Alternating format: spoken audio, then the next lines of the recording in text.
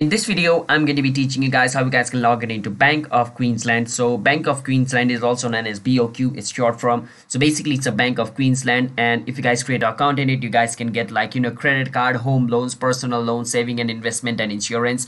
So if you guys want to know more about it, you can visit the official website, which is boq.com.au. All right. So basically it's Australian bank. Queensland is in Australia. So yeah. So if you guys are new to this channel, it's me Richie Kevin and you're watching One2Step YouTube channel. And if you guys are new, be sure to hit that like and subscribe with notification on. Let's move on. First step, you want to search for Bank of Queensland login. After you do that, you want to click on online banking over here. After you click on it, it's going to take you to its official website over here. Now, once you're over here, you click on login, you go on internet banking over here and click on log on to internet banking once you click on it it's going to take you to its login page over here in another word it's login page all right once you're in its login page just want to scroll down and click on continue over here. After you do that basically it's going to ask you for a customer access number which means it's like a number given to you when you create an account. You need to enter that over here. Then you need to enter a user id and remember if you don't have it you do not have to enter it. It says like this is only required if you have been issued a user id if not please leave blank which means if you guys have a user id you need to enter it. If it is not given to you leave it empty then you need to enter the password of your account. Then click on log on. And if all the information entered over here is correct you should be able to log in into a BOQ which means Bank of Queensland account.